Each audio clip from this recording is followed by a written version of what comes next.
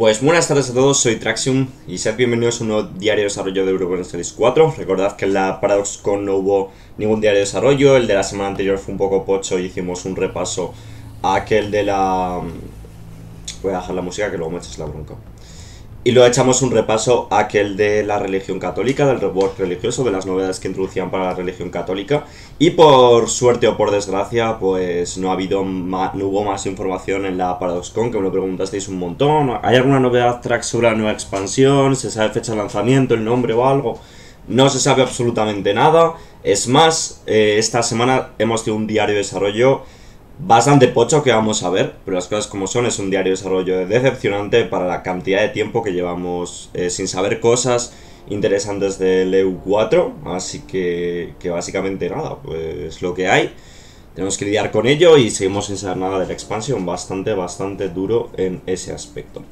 En fin, ¿a qué se dedica este diario de desarrollo? Pues básicamente a la inteligencia artificial, mejoras que le han hecho, eh, razonamientos que le han introducido, y bueno, algunas mejoras de calidad de vida, pero que en general las mejoras de calidad de vida lo veremos con más tranquilidad en el diario de desarrollo de la semana que viene. Está hecho por Grugi, que hemos hablado de él alguna vez, que entiendo yo que este tío acabará siendo el director de U4 tras la próxima expansión o algo. O aunque espero que nos revelen pronto quién va a ser el próximo director, pero bueno. En fin, eh, en fin, dicen que una de las principales cosas que querían hacer con la, con la economía, o sea, con la IA era que manejase mejor la economía, ¿vale? Porque básicamente se dedicaba a hacer siempre las más inversiones, se dedicaba a reaccionar siempre eh, del mismo modo a ciertas cosas y quiere un poco pues que haya más variedad, etc. Eh, esto va de la mano de corregir muchos bugs importantes que hacían que las guerras se bloqueasen, o sea, que la IA se bloquease a hacer las mismas cosas. Por ejemplo, una de las cosas que dicen es que eh, Francia, ya sabéis que se puede hacer hugonote con el tema de las guerras de religión, pues ahora eh, la IA entenderá que se puede hacer hugonote y una Francia hugonote puede ser un poco distinta a como es una Francia pues normal, una Francia católica, ¿vale? Eh, bueno, pues esa sería un poco la Francia protestante. Eh, dicen también que han arreglado el convertirse en anglicano, la religión del Papa, eh, que el Papa puede entrar en bancarrota, etc. Una de las cosas que han introducido también a nivel de, de dar paces es que si tú, por ejemplo, le habías prometido a tu aliado una provincia y esa provincia había sido arrebatada por otra persona durante la guerra, tu aliado ya no te va a tener en cuenta, ¿vale? Porque va a entender que, no es tu culpa, que no le puedas dar esa provincia y no se va a enfadar. Asimismo, pues van a entender mejor en las paces un poco qué es lo que está pasando. Eh, si no te han pedido nada y tú no les das nada, ya no se van a enfadar porque al fin y al cabo no, te han pedido nada, etc. Aparte también te dicen si les has prometido algo, qué territorio les interesaría que les dieses. Así que bueno, mm, cambios interesantes en ese aspecto. Ya vamos a poder hacer elecciones de lotería para poner dictadores, ¿vale? Que era una mecánica muy utilizada para tener un buen dictador de por vida.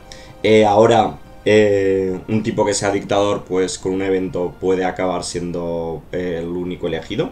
Así que bueno, una novedad por ahí. Eh, también han introducido en el creador de naciones un montón de, ideas y de modificadores que se habían ido introduciendo con las últimas expansiones, pero que estaba sin actualizar. Así que bueno, han actualizado el creador de naciones a, esto, ¿vale? Eh, más cambios. Eh, bueno, se ganaba poco absolutismo por año, en general con las ideas, con los modificadores, etcétera, solía ser 0,1 absolutismo por año, así que conseguías uno de absolutismo por cada 10 años. Esto lo han bufado, ahora vamos a ganar 0,5 de absolutismo de, media en cada cosa que nos dirá absolutismo. Así que cada 5 años sacaremos absolutismo y bueno, crecerá más rapidillo. Eh, en fin, más cosillas que han introducido. Eh, la integración de los vasallos ahora está afectada por el modificador de coste de poder. Se han agregado un montón de expansiones de las instituciones. Las repúblicas piratas ya no pueden eh, dar lugar a nuevas repúblicas piratas, ya no pueden ser repúblicas piratas de repúblicas piratas. Ahora aparecerá oro en África cuando estemos jugando con el nuevo mundo aleatorio. Por algún motivo no aparecía, pues lo han corregido.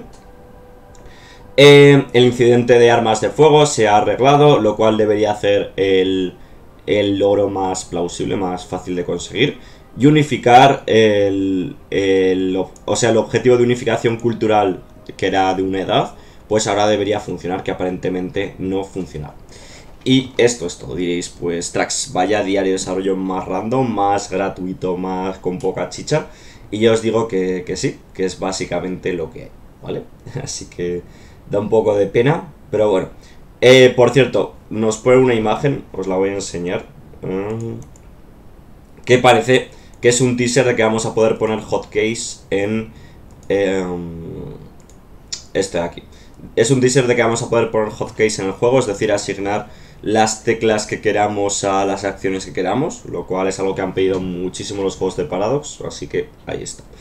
Y poquito más, eh, voy a intentar traer algún vídeo extra hoy de algo, por, no sé, o jugar en directo esta tarde algo, porque es que es un diario muy de sustancia.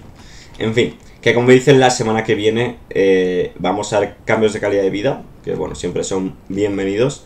Así que bueno, un poquito más de hype que el de esta semana, pero... En fin, no sé, tío. Es un, me siento un poco como con Stellaris cuando eh, había que esperar dos semanas para los diarios de, desarrollo y luego salían y eran una, una pozoña un poco. Pero bueno, en fin chicos.